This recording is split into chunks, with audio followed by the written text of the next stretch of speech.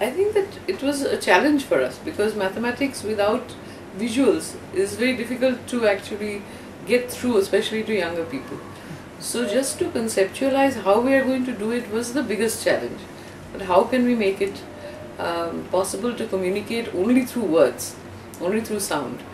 And uh, the first few meetings we really thought about this, what are the kind of things we can use to um, do this kind of um, experiment practically.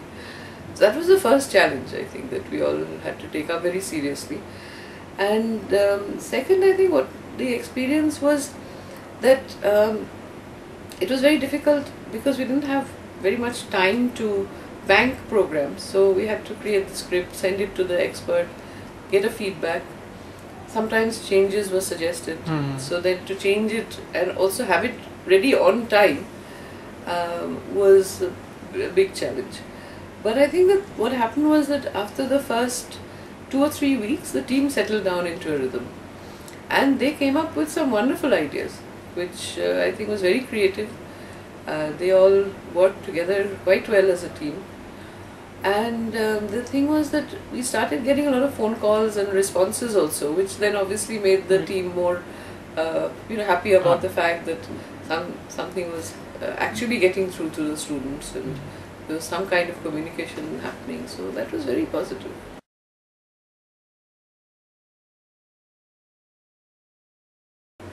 It's a subject which needs a lot of sort of abstraction Mhm.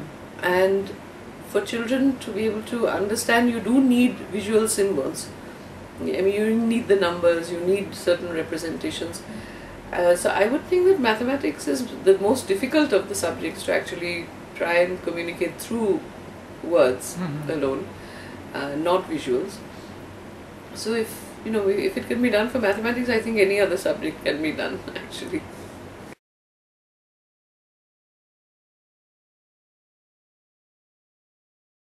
I think that we were already working with the students, but Mhm. so far a lot of the work that we were doing was kind of um, outside their syllabus, outside their everyday um, education, Hmm. what they were doing. And so I think most of them thought of it as a kind of additional thing that they would use for leisure. Uh, because a lot of these students actually do listen to a lot of the programs that are produced for the children here. But I think that by adding this, what happened was that we, we also, um, you know, the students also began to realize that it could actually help them in their everyday work. And of course, the teachers also got involved. So that was a big thing because unless we have the teachers' support, it's difficult to work with students. So the schools, the administrators, teachers, they got involved. Mhm. Uh, that was good, and I think in the long run also that will help us.